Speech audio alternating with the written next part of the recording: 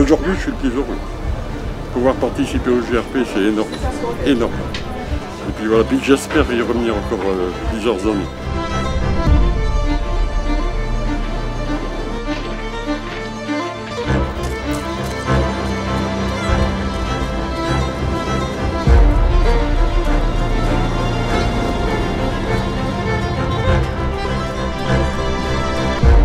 Je m'appelle Simon Acarier, je suis un des fondateurs du Grand Raid des Pyrénées. On a lancé pour la première édition en 2008 et donc euh, qui nous amène aujourd'hui à faire la 15e édition, 14 euh, ans après.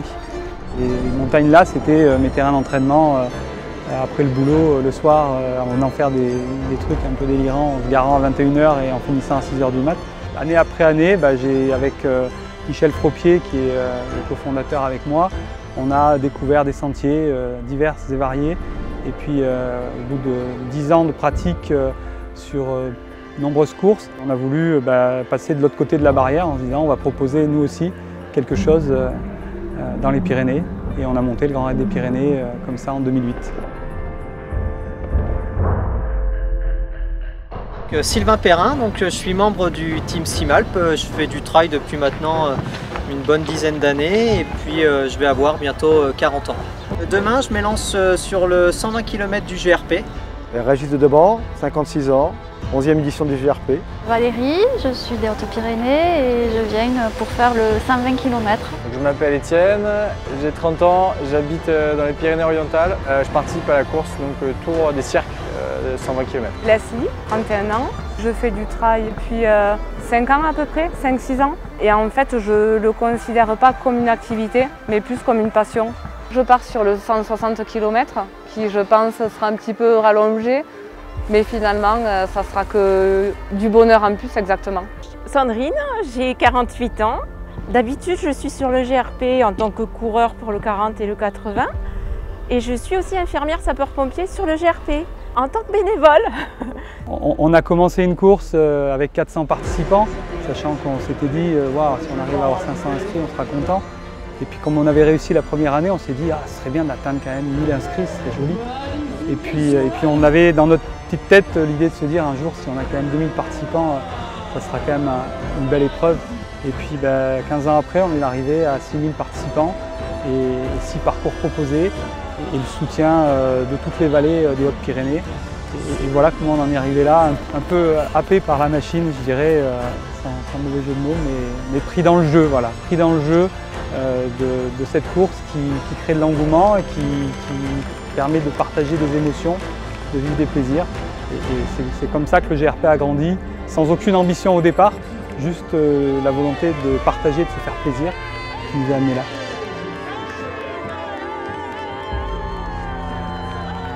J'imagine euh, en dents parce que vu que ça a duré longtemps, euh, il va y avoir des moments d'euphorie et en même temps des moments où ça va être plus dur, il va falloir aller chercher dans le mental et puis dans toute la préparation aussi euh, un peu technique. Et puis euh, j'aime bien aussi m'appuyer sur les proches, euh, d'avoir des encouragements, de pouvoir partager ça avec les gens que j'aime. Il va falloir se faire plaisir sur des petits moments et en même temps savoir après s'écouter, bien doser son effort, prendre le temps de prendre des photos aussi. C'est aussi l'intérêt des ultras, c'est que je trouve qu'on a le temps, on n'est plus sur le chrono, l'objectif c'est de terminer. Voilà, il faut accueillir euh, ce qui va se passer et puis essayer de, si on peut rebondir, on rebondit. Et puis si c'est trop difficile, il faut savoir aussi euh, dire stop. Mais euh, on va partir du principe que je rebondirai. je suis plutôt dans l'introspection, essayer de faire ma course et pas calquer sur celle des autres. C'est l'idée d'une grande balade en montagne, prendre son temps, regarder les choses, découvrir la nature, découvrir des endroits. Bien, parce qu'il faut déjà repartir positif. Je l'imagine, mais comme les entraînements, on va prendre euh, la course euh, ravitaillement après ravitaillement et puis on va essayer d'aller jusqu'au bout. Personnellement, euh, toujours éprouver ses limites, repousser ses limites, voir jusqu'où mon corps peut aller. Et puis après, en termes de, de classement, j'aimerais me rapprocher d'un podium si c'était possible. je vois vraiment un parcours de toute beauté, vraiment authentique. L'authenticité, c'est ce que je venais rechercher aussi sur ce GRP. Donc, euh, donc voilà à quoi je m'attends. Alors là, c'est la question, euh, je ne m'étais pas du tout projetée dedans encore. Et en fait, euh, au feeling. Je vais y aller au feeling en connaissant, j'ai les notions des barrières horaires quand même. Je vais me battre quand même pour euh, être finisher. Je n'imagine rien, je suis plutôt dans le lâcher-prise. Euh, hier soir, on a dormi ici, donc on a entendu les orages.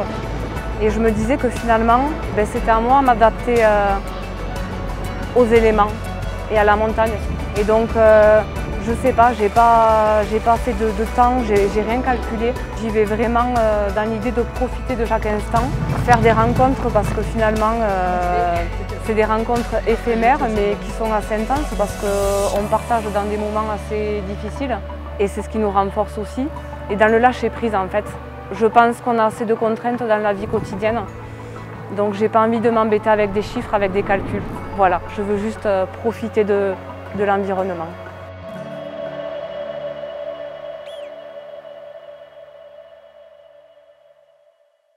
Sur euh, cette édition 2022, on proposait six parcours.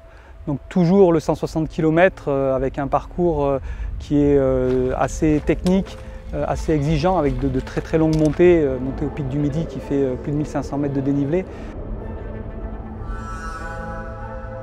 Un 120 km qui est peut-être dans mon cœur l'une des plus belles puisqu'on va découvrir le cirque d'Estobé, le cirque de Gavarnie, site patrimoine mondial de l'UNESCO. Donc c'est vraiment une des spécificités de cette course. Après euh, le 80 km euh, qui lui est mythique euh, puisque c'est le sommet du pic du Midi pour tous les coureurs à mi-parcours et, un passage dans la réserve du Néoviel qui est fantastique. Un 60 km petit dernier je dirais qui tourne plus autour de la station de Pio, entre Pio ici la vallée des Gaves. Et puis euh, deux 40 km, un qui est euh, le premier qu'on ait proposé, euh, qui est le Tour du Néoviel, qui permet de s'initier en partant de Saint-Lary et, faire euh, ses premiers pas dans le trail. Et puis euh, le trail de la Gela, où là on est toujours sur 40 km, mais on est sur 3500 mètres de dénivelé. Ce qui me motive euh, principalement, c'est l'authenticité de la course. C'est humain, c'est des gens qui sont passionnés comme nous et il n'y a pas de fiori- fioriture. Quoi. Donc euh, c'est ce qui fait euh, le charme du GRP. Et la, vallée de Saint-Lary, de- la vallée d'Or et les autres vallées sont tellement belles qu'on a envie de retourner, même si on connaît les parcours. On y retourne tout le temps parce que c'est- peut-être une drogue aussi.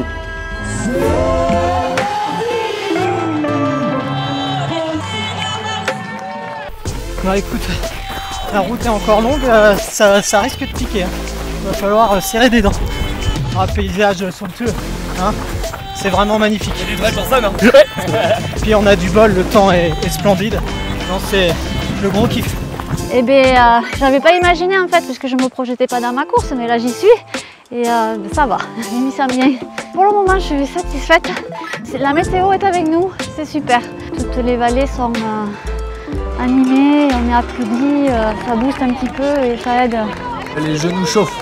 Comme je t'avais dit, il faut accueillir euh, le moment un peu pas facile et puis là ça va mieux. Donc euh, ça va être comme ça pendant longtemps. hein. Non, elle est bon. Il y a les copains qui sont là, donc c'est bon.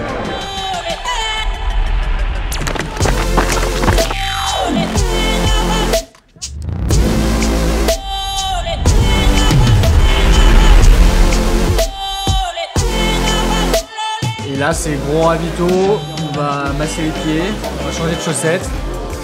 On va prendre le temps pour repartir euh, le plus frais possible. Oh, génial, comme d'hab. On connaît, c'est nos Pyrénées à nous. Incroyable, tout point de vue. Paysage, la difficulté et mes sensations. Il n'y a pas de repos là. Là, c'est euh, montée, descente, montée, descente. Il n'y a, pas de plat où on peut vraiment. euh, C'est aussi beau que dur. Donc c'est très dur. Gros kiff pour le moment. C'est d'enfer, on passe de vallée en vallée, c'est énorme. On veut pas que ça s'arrête. Il y a des hauts et des bas, mais euh, ça va, ça, ça avance toujours. Donc tant que ça avance, euh, on est bien. Ah, c'est les paysages, c'est magnifique. C'est des frissons quoi, tout le temps. Tout le temps, euh, voilà, vraiment l'adrénaline, c'est euh, voilà, c'est magique ici. L'ambiance, les gens, le partage, la montagne, le repli sur soi-même. Il n'y a rien à dire comme d'habitude, je reviens tous les ans moi. Mais, mais c'est C'est merveilleux. vraiment super, ils sont au top. Ils sont vraiment euh, gentils, serviables, il n'y a vraiment rien à dire. Puis l'accueil est montagnard, l'esprit est montagnard et on se régale. De toute façon, euh, la montagne, euh, où qu'on soit, c'est beau. Donc je sais que je vais voir des cailloux, je sais que je vais voir de l'herbe, des sentiers, des gens, des bénévoles, sans qui cela ne serait pas possible.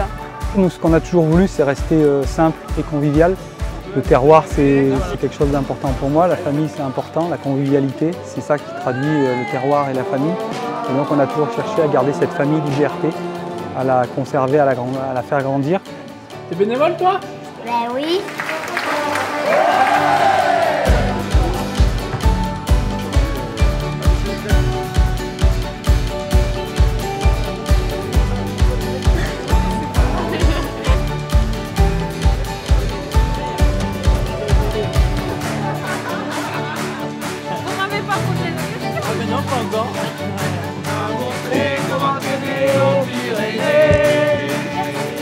Et merci à tous les bénévoles.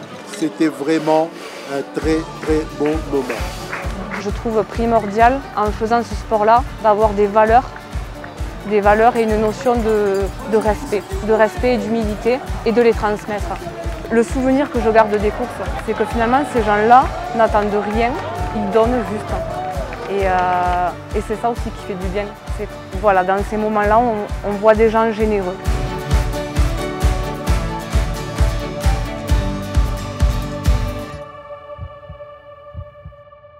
Eh, yo lo que más me gusta es la lucha personal y el proyecto personal del reto. ¿no?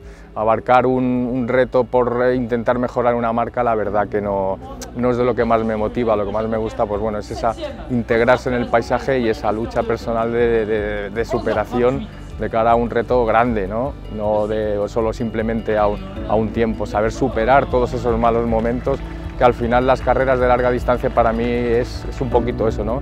como una vida, una vida pequeñita muy, muy comprimida que tienes que saber gestionar. Super découverte des Pyrénées, super découverte euh, de, de Vieillard, de l'organisation, c'est convivial, les gens euh, sur la ravito étaient vraiment super sympas. euh, et puis moi, euh, très très heureux de, de ma course, de ma gestion. euh, c'est euh, une course aboutie et je suis vraiment très très content. que tous ces lacs, ces sentiers, c'était vraiment magnifique et je voulais prendre juste du plaisir et après le reste, ça vient tout seul. Que je vais retenir, c'est que euh, voilà, même si on abandonne, c'est mon premier abandon, c'est peut-être justement, euh, il faut aussi, euh, pour affronter les ultras, savoir abandonner aussi, parce que ça fait partie de la- du jeu, de la course. C'est pas, c'est pas dramatique d'abandonner, c'est pour permettre de rebondir, de se repositionner. L'ambiance. L'ambiance, le côté famille du GRP, qu'on ressent pas forcément sur d'autres grandes courses qu'on a pu faire. C'est un petit village, on est au cœur de la montagne et c'est toute la vallée qui se mobilise pour, euh, pour cette course, pour cette superbe course, pour euh, amener du monde de toute, euh, la France. Je trouve ça génial. C'est vraiment la course des Pyrénées humaines. Il y en a plein d'autres dans les Pyrénées qui sont magnifiques, mais le GRP. Grand raid des Pyrénées.